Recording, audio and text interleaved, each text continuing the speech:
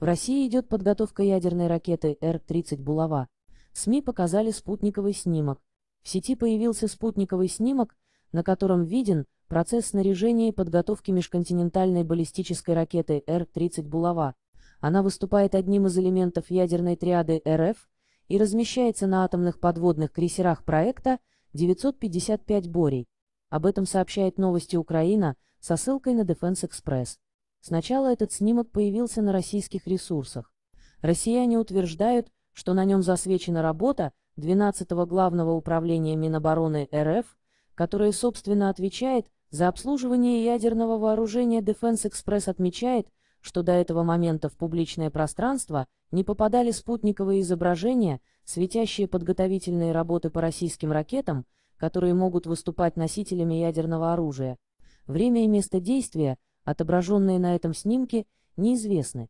Вероятно, транспортно-пусковой контейнер с самой Р-30 «Булава» серого цвета расположен в нижнем левом углу на снимке, также можно заметить наличие нескольких машин различного назначения. Процесс подготовки Р-30 «Булава» — спутниковое изображение из открытых источников. Издание также обращает внимание, что россияне даже не пытаются хоть как-то маскироваться.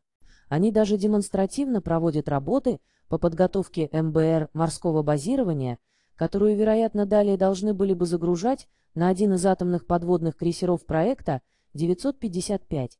На этом моменте можем зафиксировать определенную взаимность, то есть страны Запада могут постоянно мониторить с помощью спутников, в частности процессы, связанные с ядерным арсеналом РФ, ну а в свою очередь россияне в чем-то демонстративно проводят Подобного рода операции, очевидно, с целью психологического воздействия, отмечает Defense Express.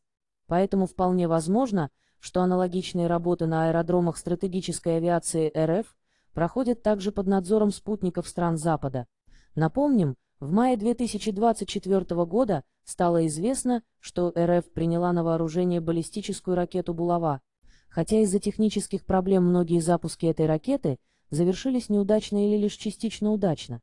Так, в ноябре 2023 года ГРУ сообщала, что Россия провела неудачные испытания ракет Ярса-Булава, которые являются носителями ядерного оружия.